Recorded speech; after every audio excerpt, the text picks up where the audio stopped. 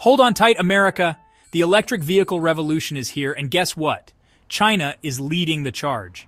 We're not talking about some futuristic fantasy. This is happening right now. Chinese electric cars are popping up everywhere, from sleek city streets to suburban driveways. These aren't your grandma's electric cars either. We're talking about high tech, stylish vehicles packed with the latest gadgets and gizmos. And get this, they're often cheaper than their gas guzzling counterparts. No wonder American drivers are starting to take notice. But wait a minute. Uncle Sam isn't too thrilled about this Chinese EV invasion. Enter tariffs. The U.S. government is slapping extra taxes on these Chinese imports, hoping to slow them down. But will it work? That's the million dollar question, folks. And today, we're diving deep into the electrifying world of Chinese EVs to find out why tariffs might not be the answer. Buckle up, it's going to be a wild ride.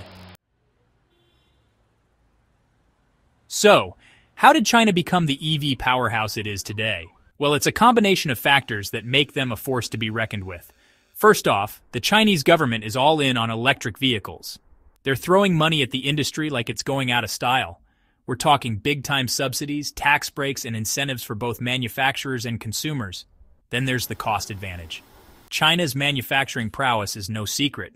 They've got lower labor costs, access to cheaper raw materials, and a knack for churning out products at scale. This means they can produce EVs at a fraction of the cost of their American and European rivals. But hold on, it's not just about being cheap. China is also pouring resources into innovation, particularly in battery technology. They're developing longer lasting, faster charging batteries that are leaving the competition in the dust. So you've got government support, lower costs, and cutting edge technology. It's like the perfect recipe for EV domination. No wonder China is leaving its mark on the global electric vehicle market. Now let's talk about Uncle Sam's game plan tariffs. The US government, concerned about Chinese EV dominance, has decided to fight fire with, well, more taxes. They've slapped hefty tariffs on Chinese electric vehicles and their components, hoping to make them more expensive and protect American jobs in the process. The idea is that by making Chinese EVs pricier, American consumers will opt for homegrown electric options. It's a classic case of economic protectionism. But is it the right move? The Biden administration argues that these tariffs are necessary to level the playing field and prevent unfair competition from China. They claim it's about protecting American jobs and ensuring a fair shake for U.S. companies. But here's the thing about tariffs they're like a double edged sword. While they might protect some domestic industries, they can also have unintended consequences. And in the case of Chinese EVs, those consequences might outweigh the benefits. Let's find out why. Okay, so we've got these tariffs in place, but here's the kicker they're probably not going to work as intended. In fact, they might even backfire on the U.S. economy. Why? Well, let's break it down. First off, these tariffs are like putting a band aid on a broken bone. They don't address the underlying issues that have allowed Chinese EV makers to gain a foothold in the market. Remember those factors we talked about earlier? Government support, lower costs, innovation?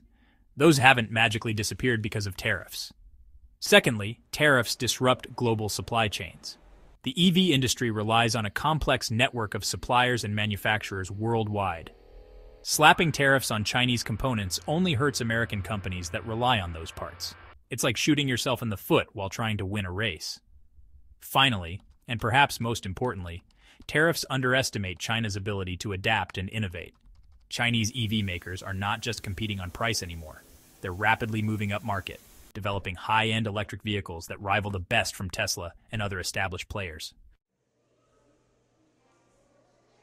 Section 5. Demand Overdrive. America's hunger for EVs outpaces tariff walls.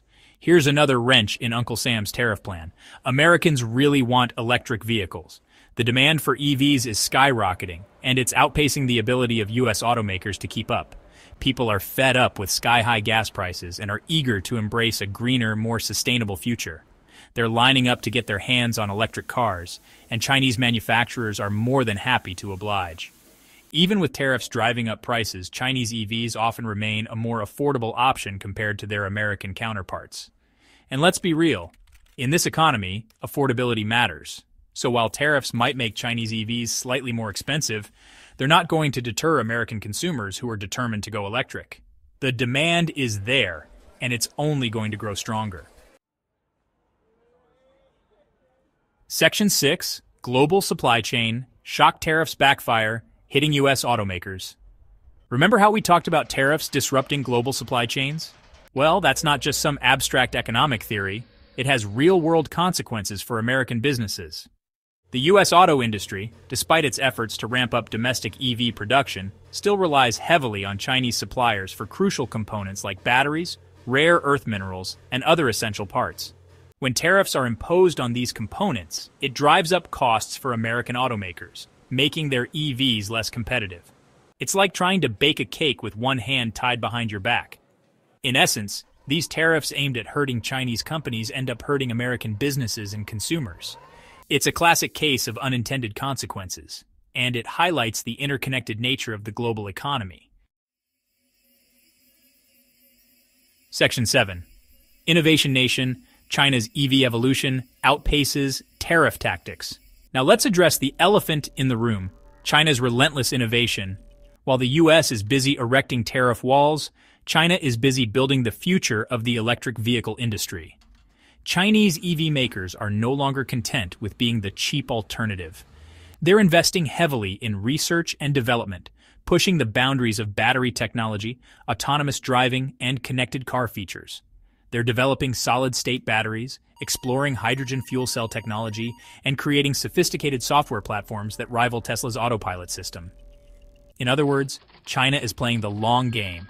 They understand that the future of mobility is electric and autonomous, and they're determined to lead the charge. Tariffs might slow them down temporarily, but they won't stop China's relentless pursuit of EV dominance. Section 8 The European Example a different approach to the Chinese EV challenge.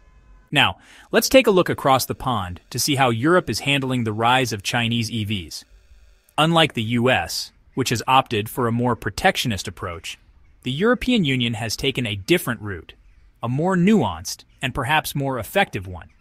Rather than slapping on massive tariffs, the EU has focused on creating a more level playing field through regulations and incentives. They've implemented stricter emission standards for all automakers, forcing them to accelerate their transition to electric vehicles. At the same time, they're providing substantial subsidies and tax breaks for consumers who purchase EVs, regardless of their origin. This approach encourages competition while also supporting the growth of the overall electric vehicle market. The European example demonstrates that there are alternatives to protectionist tariffs when it comes to dealing with China's EV rise. It's about fostering competition promoting innovation, and ultimately, giving consumers what they want affordable, high quality electric vehicles. Section 9 Powering Up America The Real Solutions for a Thriving U.S. EV Sector. So, if tariffs aren't the answer, what can the U.S. do to compete in the electric vehicle arena? Well, it's time for a reality check and a dose of strategic thinking. Instead of trying to hold back the tide, the U.S. needs to ride the wave of EV innovation. First and foremost, it's time to invest heavily in domestic EV manufacturing.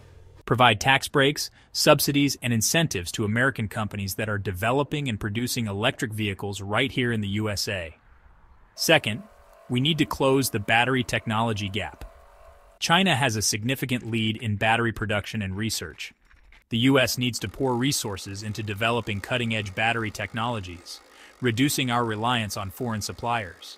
And finally, let's make EVs more practical for everyday Americans by expanding charging infrastructure.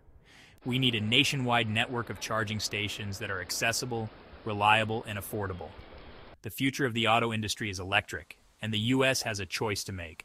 Embrace the change or get left behind. It's time to ditch the outdated protectionist playbook and invest in a future where American innovation and ingenuity drive the electric vehicle revolution.